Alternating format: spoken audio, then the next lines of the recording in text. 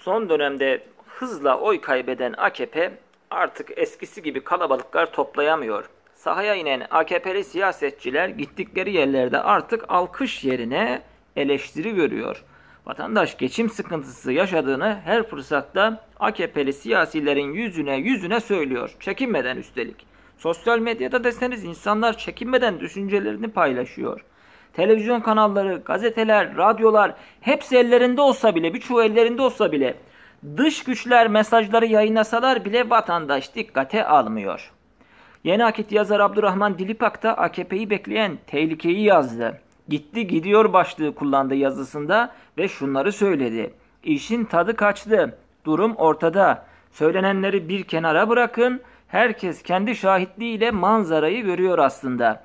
Bu konuda bütün suçu karşısında, karşısındakilere yıkan bir durumla karşı karşıyayız. İnşallah yarın söyledim ama dinletemedim demek zorunda kalmam.